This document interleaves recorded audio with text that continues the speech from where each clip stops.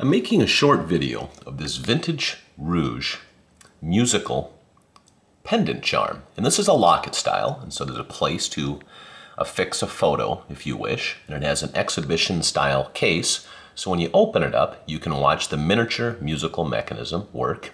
This is solid silver with gold overlay in excellent condition. So I already have it wound. Bear with me.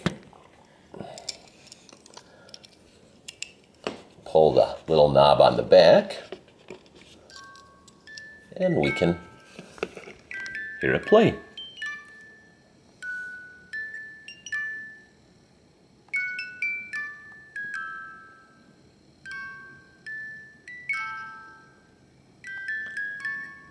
They're always fun to watch.